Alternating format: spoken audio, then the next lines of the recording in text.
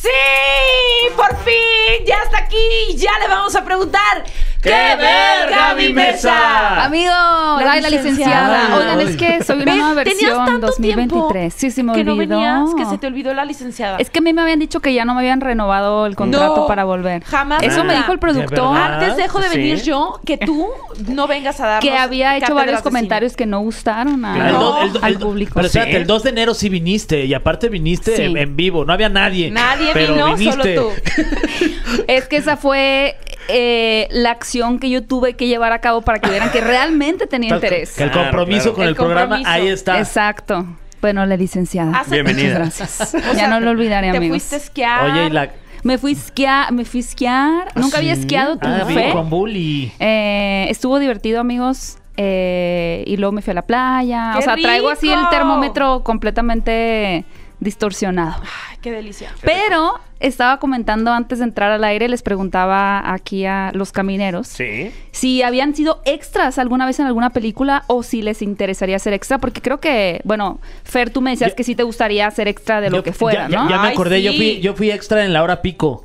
¿Ah, sí? ¿Cómo Ajá, crees? bailé, Wow. bailé el Colofox con. En ese programa está Gali, Galilea, y este Adrián Uribe, y fui en mis épocas de universidad, de universitario, con Alex Montiel, Oh. hoy conocido como el escorpión dorado. Entonces Mira. él era bien acá de que hacía actividades y todo. Y un día me dijo, oye, acompáñame, vamos a Televisa a darnos una vuelta. Entonces fuimos a darnos una vuelta a Televisa y entramos al foro de la hora pico y nos dijeron, oigan, este, ¿no quieren salir de extras? Wow. Y yo, Wow. ¿cómo no? O sea, ¿dónde te- pago por salir en la hora pico? Y estuve ahí de extra y bailé el Colofox con Wow. Galilea, Adrián Uribe y Es un- Consuelo Duval. Qué belleza. Eso es un buen extra. ¿Tú, Fran, has sido extra? Mm, eh, uy, hace mucho cuando trabajaba con mi tío Eugenio, le, mando el máximo de los respetos. eh, de repente me, to- me tocaba extraer en sketches o eh, en la familia Peluche ahí, a ver, todos ahí que se ve un chingo de gente. Eh, como que. eh, Pero es sí, muy cansado. Vaya que lo es. muy vaya que can- lo es. Digo, creo que, que nadie aprecia a un extra por lo regular, ¿no? Pues ves una escena de acción, por ejemplo, y ves a la gente corriendo y nadie piensa, wow, qué bien corrió. Creo que la gente los nota cuando cometen un error. Y ya han salido como varios clips de películas como Star Wars o de Marvel, donde el extra se nota que no lo dirigieron bien y está ahí por ahí, así como que, ¿qué me tocaba hacer a mí, no? Yo fui extra una vez en una película de Mel Gibson y Oh, Mark Wahlberg que se llama wow. Guerra de Papás 2. ¿Qué? O sea, tú ya tocaste el cielo de Hollywood. Ya, ya. La filmamos en un... La filmamos. ¡Ay! ¡Eso! El rodaje se en llevó Canadá. eh. En Canadá. Eh, Guau. Y era una escena en un boliche. Pero No, sí, sí fue muy cansado porque teníamos que jugar boliche, entre comillas, como... O sea, duró como ocho horas.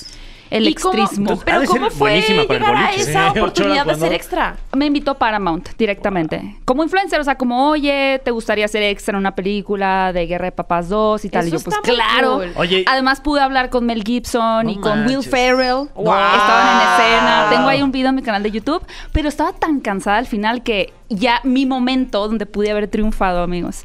Que era la escena donde iban a enfocar a los extra que estábamos como apostando porque el niño iba a perder y demás. close-up. Yo estaba tan Fuiste cansada que no, o sea, me quedé, no peleé por estar enfrente. Ah. Me faltaba colmillos hace no, como no te seis dio hambre años. de cuadro ahí. Entonces ustedes ven la película, sí, o sea, les puedo enseñarlo, pero es como un pixel que me veo, o sea, sí es como, ahí estoy, pero apenas porque... Oye, pero no cualquiera puede decir que salí. pero estuve. Compartiste O sea- créditos con, con ¿qué- ¿quién? Mel Gibson. Sí, Ma- con Will Ferrell y. Mark. Wahlberg. ¿A Mark quién dices que qué? ¿Dónde está? Pero- ¿Qué? ¿Qué pasó? No sé si lo volvería a hacer, quizás sí. ¿Y te pagaron Ya- o no? No, no, no, no. A los influencers no, no se les paga nunca. Mm. Ya. ¡Ay! Acá es no. mal ¿Ah, sí? visto eso. Soy una decana. No, no, yo lo haría gratis otra vez, sin duda. Yo también, pero que nos inviten. Pero que nos paguen. Pero que nos paguen, exacto. Pero bueno, vamos a hablar de Last of Us. The Last of Us. Aquí seguramente por lo menos siento que Francia ha jugado el videojuego. Sí. Sí. Y eres Eh, fan del videojuego. eh, el 1, espectacular. El 2, hay más no o te menos. gustó la decisión. No hay que hacer spoilers, ¿no? Exacto. Pero hay una decisión como interesante que generó mucha polémica en cuanto a los personajes protagonistas.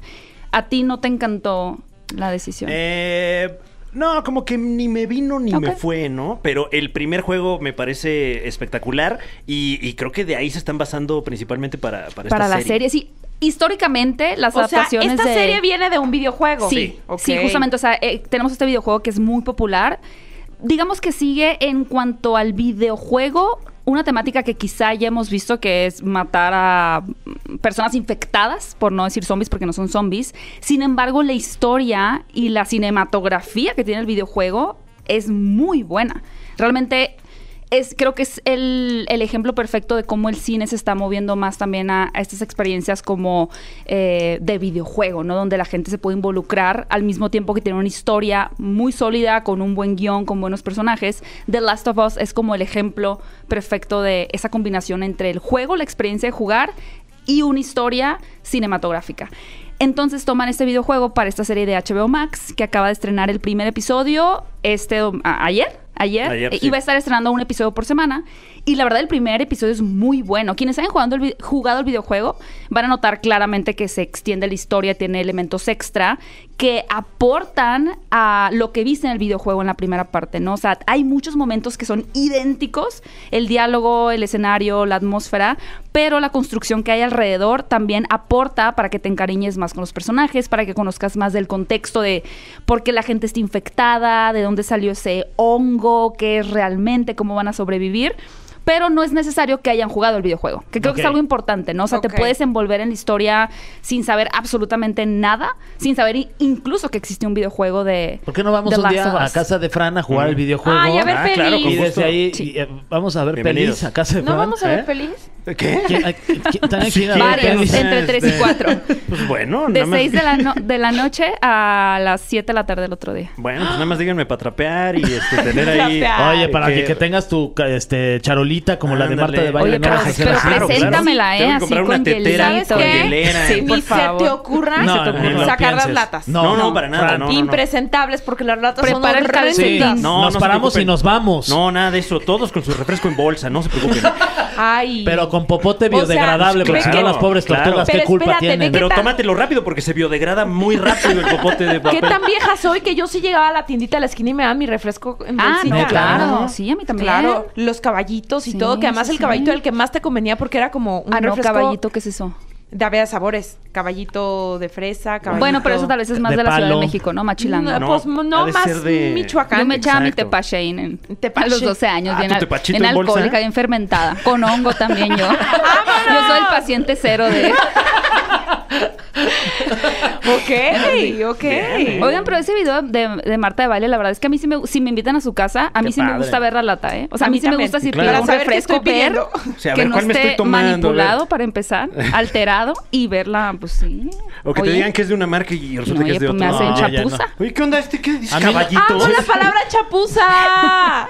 amo, amo. No me vayan a hacer trampa, la vengo chapuza. muy norteña. Exacto. Muy anciana. Bueno, ¿qué más? ¿Qué más tenemos ¿Cuántas que ver? este, gavilanes o Hubo palomas, o cómo es? Que ya al ni me primer acuerdo. Ay. episodio, no, yo creo que sus sólidas cuatro Ah, y ¿sí? media, sí. ¿Cuatro El actor, ¿cómo se llama? El actor chileno que es buenísimo, el que sale Pedro aquí. Pascal. Eh, Pedro Pascal. Pedro Pascal ¿y palomita en mantequilla original? Sí, Oh, grasosa, sí. Qué rico. No light, ¿eso qué? No, no, Claro. esas no cuentan. Ok, Esas entonces- las venden en el infierno nada más. Oye, Exacto. Cuatro sólidas palomitas de mantequilla Sí. grasosa. Ay, qué Mm. rico. Y quienes ya vieron toda la serie también afirman que sigue siendo muy buena. Entonces, esta podría ser la primera.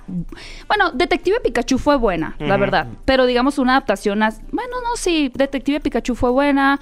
Sonic 1 creo que también es buena. Claro, la dos también. Ya se está rompiendo como la maldición de las malas adaptaciones de videojuegos. Viene la de Super Mario Brothers. Viene Super Mario Bros. en abril, Ah, exactamente. Esa sí- sí Estamos en una buena racha, Mario amigos. Bros. Pero como que live action, quizás solo detec- así enteramente que no sea Sonic que combina o Detective Pikachu. Y en una historia como más oscura, quizá esta sea la primera gran adaptación de videojuego a, a serie. Ok. Bien. Ah, y es el, es el creador de Chernobyl. ¿Vieron la serie Chernobyl Sí, en HBO? está bien buena. No la vi, te la recomiendo, Tania. Sí, Sí, es muy buena. Está Sí. buena. Oye, que por cierto vi que nominaron, creo, a Taron Egerton por la serie que a ti te encantó y que no he visto. ¿Y el actor ganó?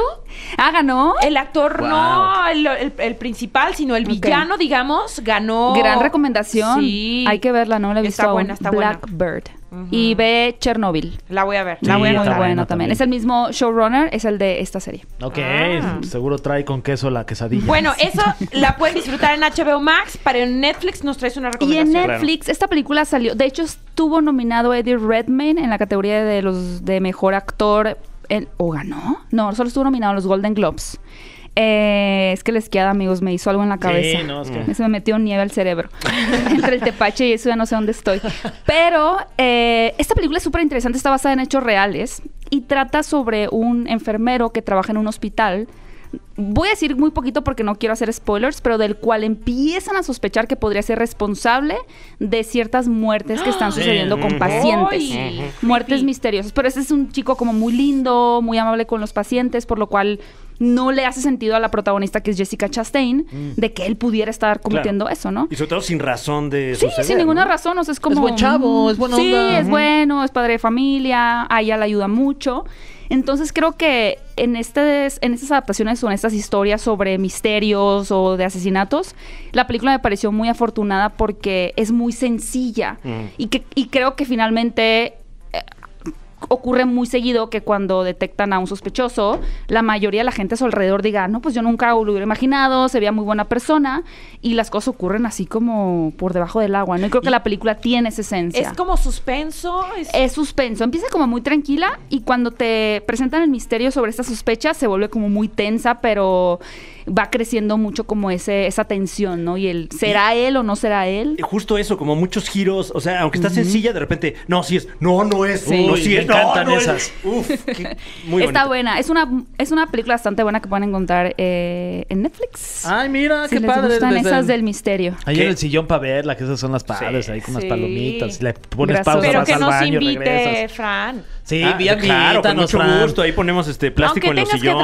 trapear. Claro, no, no se preocupen, no Sí. se preocupen. Ahí, este. Aunque uno, uno tenga que llevar su vaso de festival, no importa. No Cada importa. quien su vaso. Cada quien lleva Y ahí nuestro lo lavan. vaso. Yo ya tengo Órale. este termo. Perfecto. Ya, Aquí ¿cuándo me rellenas. ¿Cuándo se arma? Este, pues digan, digan. Ya, de una vez. Yo ¿Qué? me llevo ¿Qué el Mario? Party, lo acabo de comprar. ¡Guau! ¡Qué Con 100 diversión! minijuegos. Uy, buena recomendación Uh, también esa, Hashtag ¿eh? Nintendo, ¿es cierto? Ojalá me patrocinaran Nintendo. Eso estaría muy correcto. Ay, pues ya nos vamos. ¿Tienes crees? Muchi. ¿Tienes free?